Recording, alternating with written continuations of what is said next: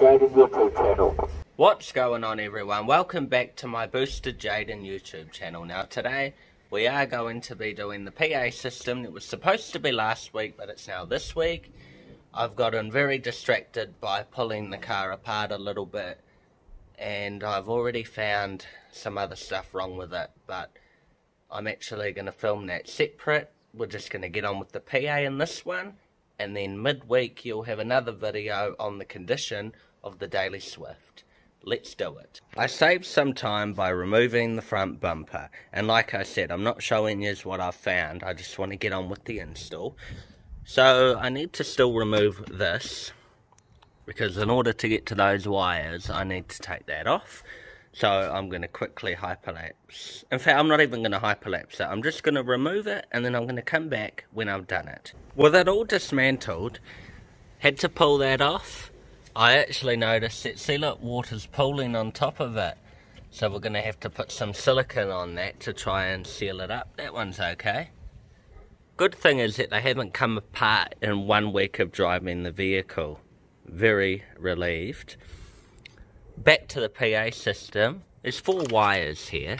The two green ones are for the speaker itself.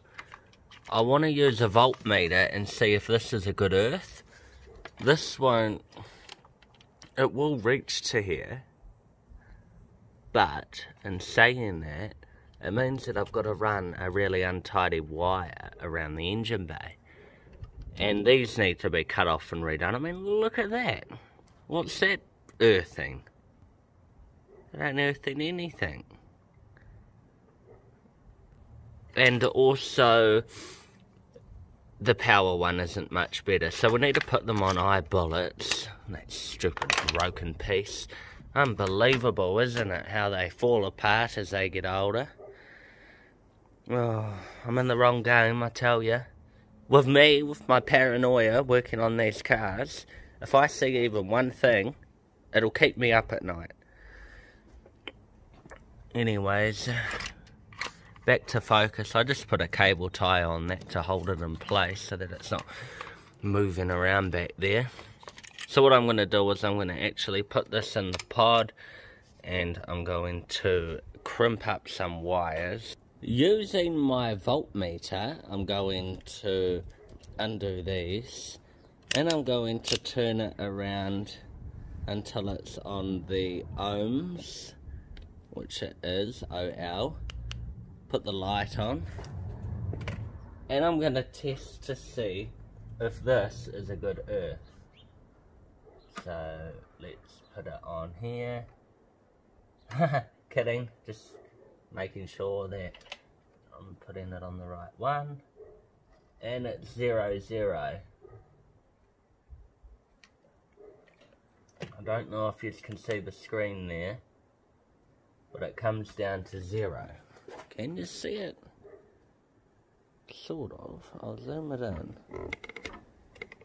Put it down. So I'm going to put it on the earth itself. So red one to the one that I want to use and then the other one to the battery or to anything really. Anything metal. Maybe in the engine bay here. Oh, well the throttle body's not a good one to use. What about a fender bolt? Yep. Battery? Yep. Okay, so here's what I'm going to do. There's a bolt over here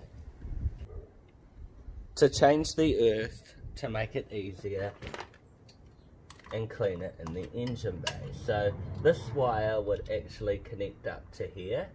So I'm going to put a little eyelet on it, undo that bolt and put it on there or I could put an additional bolt onto that bolt to then secure it one or the other I'll work it out.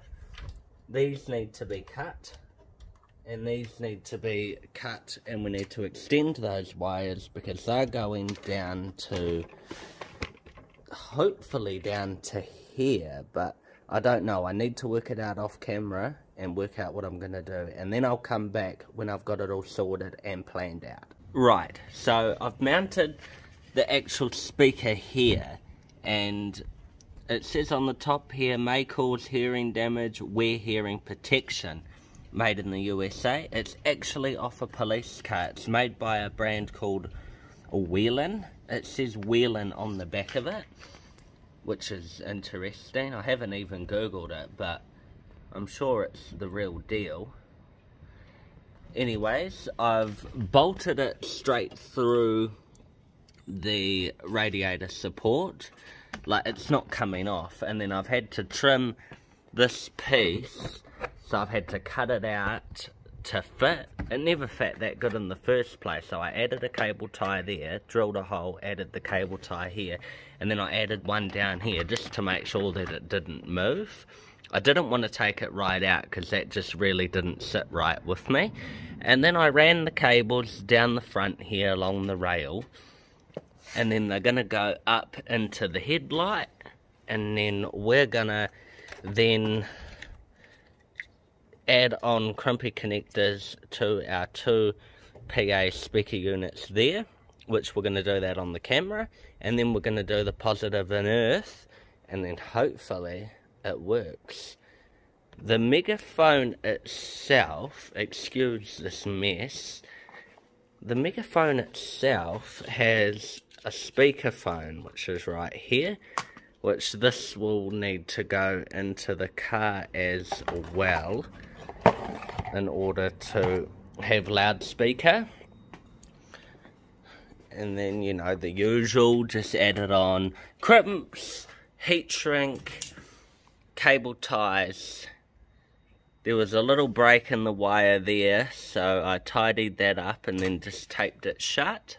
It should be alright. I noticed that there's a lot of loose plastics going on in the Daily Swift. I mean, TM Swift actually doesn't have any of these plastics. They're all long removed. Apart from the bottom piece, which even that one doesn't sit very good. But that's not the purpose of this video. The purpose of this video is the PA system. So like I said, speaker down here. And then we're going to be working up here. I'll put the camera in the pod. We'll splice up and crimp on those wires. And then we're hopefully going to get it going. Now I'm going to take some scissors. And this is like far too long. So I'm going to cut it there throw that wire over there and then I'm going to just pull the end off, which I like to use scissors for this. Just tidy it up all nicely and then grab a blue connector which will then go on. Take the crimp tool, line it in and then crimp it down. And then for good measure, I always move it over just a millimeter and crimp it down again because last thing you want is for it to come off. That's on, that ain't coming off. Which one's which, I actually don't know, so we're just going to be taking a complete stab in the dark. But before we do that, let's just put that there. And the other one that we're actually adding on to is here and this one will reach both just same thing. Cut the end off it. And then cord it all up nicely. And then I'm going to take another cable joiner I suppose you could call it. Before I do I'm just going to shave it down a little bit. And I'm going to put it on. I need to put it in the right hole and then crimp it down and then over two millimeters, well more like one, and then crimp it again. And that gives hopefully a good connection. And then we're going to take our two green wires and we're just going to open them up a little bit so one here.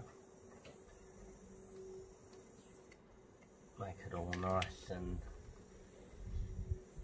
together. And then I'm going to take the other one and do the exact same thing. And then we're going to take one of the two wires. Which which one is longer? This one so we'll stick that in and I'm actually really hoping that this will work I don't even know if the PA system will still work it's been removed for quite some time but that's all about the risk and the gamble when dealing with aftermarket goodies. And then I'm going to put it in. And I'm going to quickly crimp it down before it falls out. And then crimp it again. I probably over crimped and I forgot to put the heat shrink on. Great. Alright, we'll use installation tape. It's only for speaker, it's not live power. And then we're gonna take our next one. We need to shave down the excess. And then we're gonna put it in when it's all nice and straight, of course. We're then gonna stick it in. Hopefully that will be enough to get it going. But before I do, I'm going to stick this piece of heat shrink over it and then at least one of them's got heat shrink. Otherwise I've got to then cut it and rejoin it and that's just you know cable joiners are very valuable. I've only got three left out of a whole brand new box that I only opened new when I started doing the fan controller wiring for the TM Swift there is an update on the fan controller actually, but not in this video. We'll talk about it in another one. Pull that to the top there, and then using a lighter, which I'll just grab, I'll take my lighter, and all I'm going to do is heat it up so that melts onto it. Keep it all on that one should be alright. We'll end up cable tying them anyways. And now next part is to actually tidy it up, but I can do that off camera. You don't need to see all the boring stuff. And then the next step is to adjust the camera. And then we're coming over to the battery area here. And we're going to cut this off throw it on the floor to be cleaned up later. And then I'm going to shave off the top like I do with them with the scissors. Till I see it there. And then crimp it right down until she ain't coming off and then release. Pretty dodgy you know what? It'll get the job done. And that's all that anyone can ever ask for. And then that will get attached onto a bullet there somehow. Or maybe even onto that one. Take that bolt off and add it on. And then this one, I'm going to see if I can find a bolt to put it on there. If not, then we're going to have to add it back to the battery. Now we're going to take the earth cable and we're going to cut it down to about there. cut all of that off because I'm actually going to be re-earthing it elsewhere. Cut that down. Okay, that is much better. And now right where that bar is, is where I'm going to put my hand to do this. I'm going to put this in and I'm going to stick the wire into it until I see it come through the other end. And then we're just going to Okay, so it went sideways, that's not meant to happen, so I need to release it a little bit connection. Okay, that didn't work either. Or did it? Okay, sketchy, so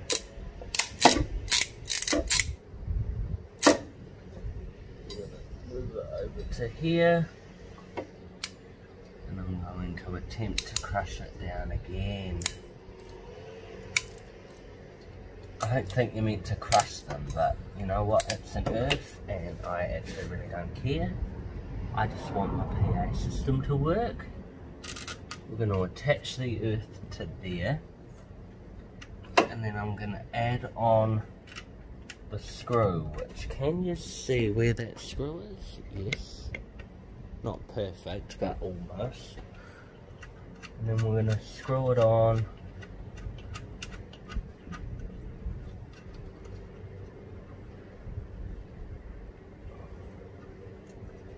And then I'm going to grab a 10 mil and we're going to tighten that up and then we're going to add the one onto the battery. If I can get it level. We're going to add it onto the battery as well the power one to do that I need to loosen off this wire until I can then unscrew it completely.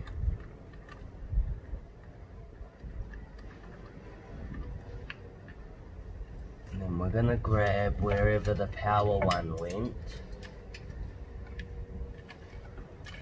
I'm going to add it on to the battery like so. You'll notice that there isn't a fuse on it. It doesn't matter because it's already fused before it goes into the unit itself. And then tighten it down.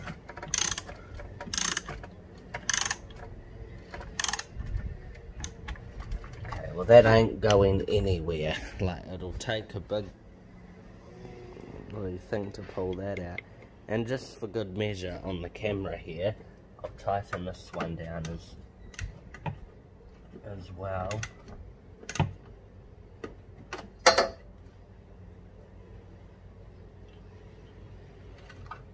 And that ain't coming off. Next thing to actually do before I tidy anything up is to, that wouldn't give me my phone back, is to now jump into the cabin of the car.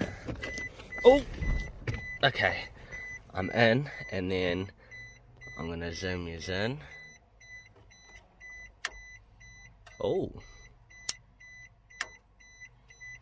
okay.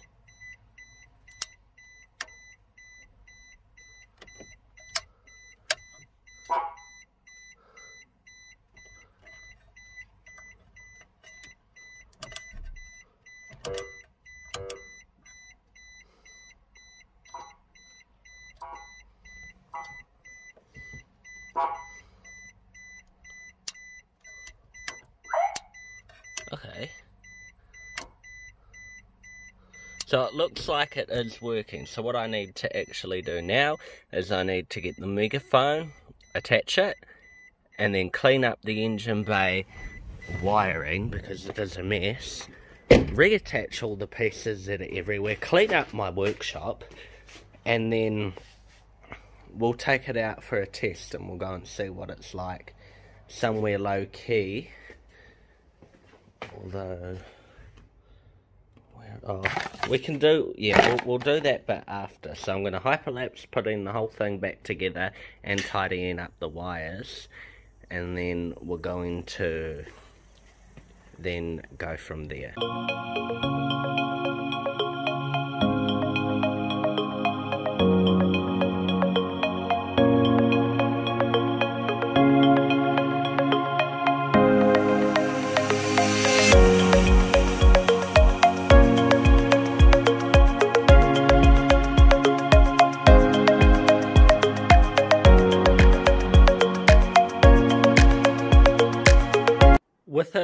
put back together, we can grab the microphone, which the microphone's the most exciting bit for me. This was why I got it. We don't need the key because it runs independently. Zoom this in a little bit. Then all I'm to do is plug it in. Grab the megaphone. Go. Go. Okay, it works. Which is quite cool. Go. Okay, so I need to work out some things to say on it, but what I'm gonna do is I'm gonna put the cable in there. I put that there because then it stops the pulling on the megaphone wire itself just by creating a bit of a gap there and then this way when I actually pull on it see it doesn't come off it doesn't yank the wire here damaging it because you know what aux cords are like after a few years they get damaged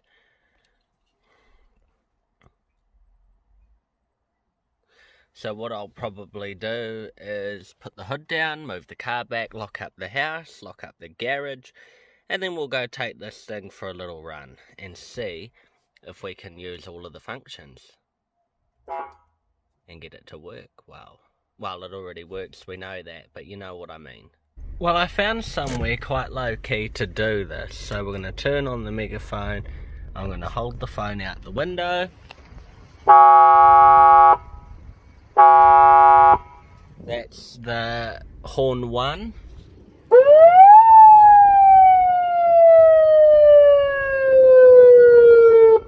That's the siren horn.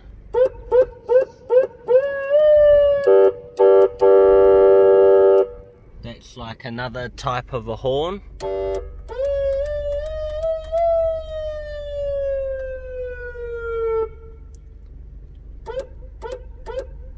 those are accessory switches for uh, maybe a light bar. And then there's still no one coming so this is walkie one. Walkie one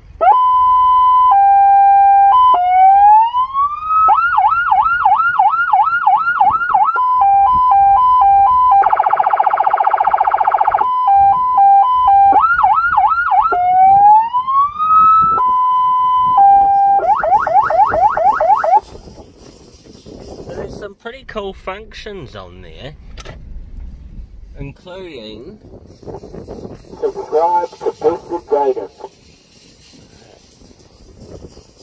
Who saved that? Not gonna be me.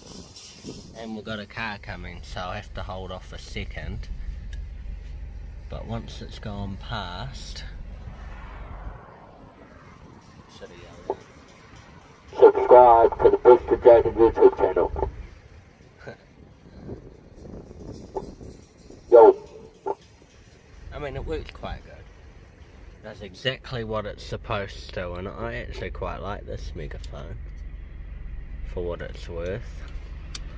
It's a cool little add-on to a Swift now that I've got it, I couldn't be without it.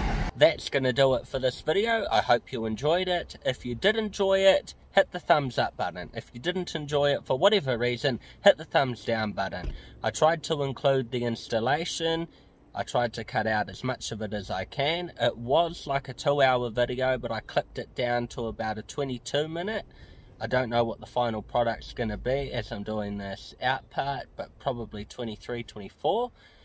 Also, follow me on Instagram if you're not currently. Link will be on the screen here and in the description box. I post far more there than I do anywhere else.